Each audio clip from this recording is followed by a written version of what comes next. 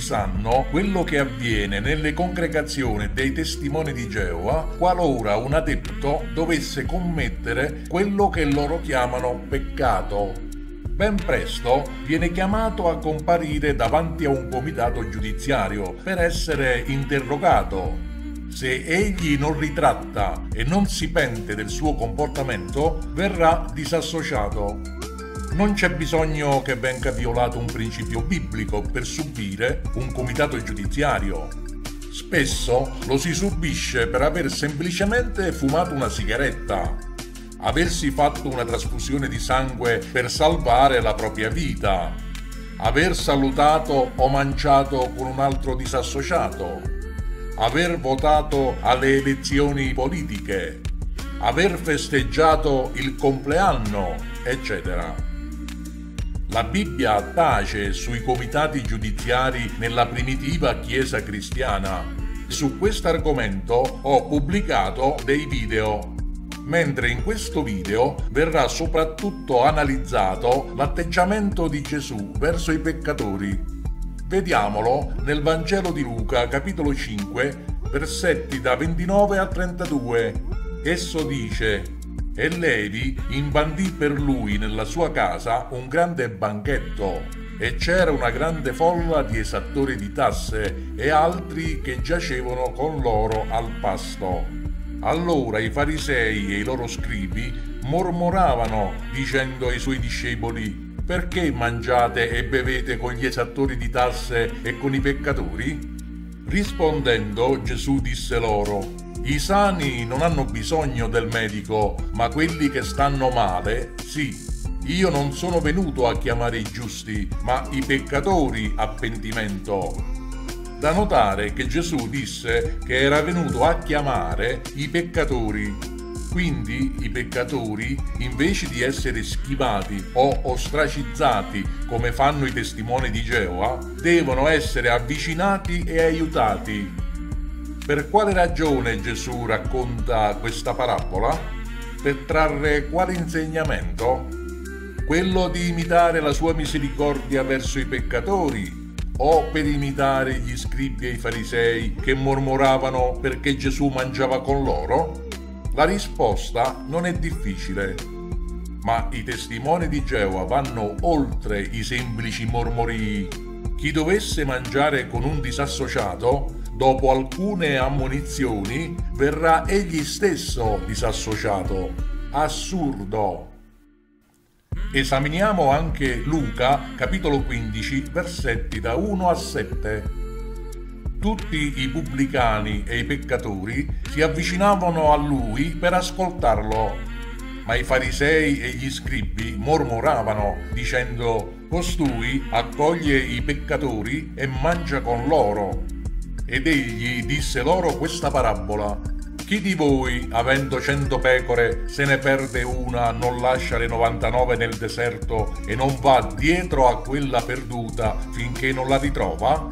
E trovatela, tutto allegro, se la mette sulle spalle e giunto a casa chiama gli amici e i vicini e dice loro rallegratevi con me perché ho ritrovato la mia pecora che era perduta vi dico che allo stesso modo ci sarà più gioia in cielo per un solo peccatore che si ravvede che per 99 giusti che non hanno bisogno di ravvedimento. Anche in questa parabola i scribi e i farisei mormoravano perché Gesù accoglieva i peccatori e mangiava con loro. Gesù con questa parabola gli fece capire che dovevano prendere l'iniziativa per andare a cercare la pecora finché non l'avessero trovata. Non dovevano aspettare che la pecora andasse da loro, come fanno i geovisti. A questo punto il geovista dirà, sì, però la pecora della parabola viene chiamata un peccatore che si ravvede possiamo riaccettare nella nostra organizzazione solo colui che si ravvede. Ma come potrebbe un anziano sapere se un disassociato si ravvedrà o meno se non lo va a cercare? Ecco perché Gesù nella parabola disse di andare a cercare la pecora smarrita finché non la trovi. Solo così avrebbe potuto sapere se la pecora smarrita si sarebbe ravveduta della sua trasgressione. Ovviamente la ricerca andava fatta mentre la pecora era smarrita. Gesù non disse di andare a cercare i ravveduti. Questi non avevano bisogno di essere ricercati. Comunque gli anziani, e solo gli anziani, perché a motivo dell'ostracismo per tutti gli altri testimoni di Geova è proibito ricercarli, possono decidere di visitare i disassociati una volta all'anno e non più spesso per sapere se desiderano rientrare nella setta. Sono però esclusi tutti quelli che loro chiamano apostati, cioè quelli che disapprovano l'operato della Watchtower. Questi non verranno mai visitati. Tutti gli altri potrebbero rientrare nella setta solo se accettano le loro condizioni. Quali sono? Prima di tutto devono pentirsi. Di cosa? Ad esempio, chi si è fatto una trasfusione di sangue deve pentirsi di essersela fatta, anche se ciò gli avrebbe potuto costare la vita oppure chi è stato disassociato perché frequentava un familiare disassociato. Questi dovrà pentirsi di aver frequentato, ad esempio, il figlio, la propria madre, il nonno, lo zio o il nipote che erano stati disassociati. Ovviamente dovrà necessariamente evitarli in futuro Potrebbe sembrare una barzelletta, ma vi assicuro che questo è veramente quello che succede nella setta geovista. A questo punto, anche se il disassociato accetta le loro condizioni, non è finita qui. Egli deve fare domanda di riassociazione per iscritto. Non verrà riassociato sulla base della semplice richiesta verbale. Questa è la burocrazia geovista non si rendono conto che sono ben lontani dagli insegnamenti di Gesù. Egli trattava con espressioni di misericordia i peccatori e gli esattori di tasse, mangiando insieme a loro, a volte anche auto-invitandosi. Usò misericordia anche verso le prostitute. Ciò viene mostrato dalle scritture che passano in sovraimpressione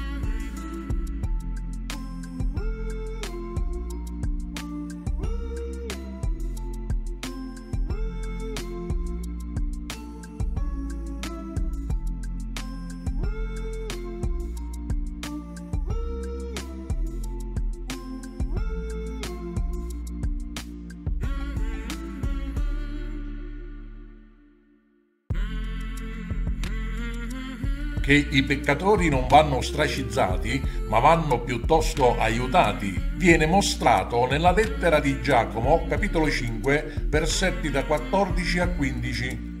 C'è qualcuno che è malato? Chiami gli anziani della Chiesa ed essi preghino per lui, ungendolo d'olio nel nome del Signore. La preghiera della fede salverà il malato e il Signore lo ristabilirà se egli ha commesso dei peccati, gli saranno perdonati. Da notare il modo corretto di agire degli anziani della Chiesa primitiva, quando un fratello gli comunicava di essere spiritualmente malato. Gli anziani si recavano da lui per pregare per lui, ungendolo con il simbolico olio in modo da ristabilirlo e se aveva commesso dei peccati gli sarebbero stati perdonati Qui la scrittura ammette che il malato spirituale poteva anche essere responsabile di vari peccati.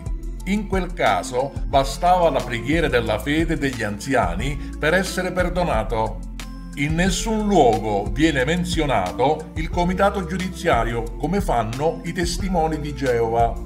Purtroppo la dirigenza geovista ha ignorato la purezza della disposizione divina e ha inventato delle regole arbitrarie e inflessibili verso i peccatori, come l'ostracismo che le scritture non insegnano, con il fine di demolire invece di sanare, allontanandosi dagli insegnamenti amorevoli del nostro Signore Gesù Cristo.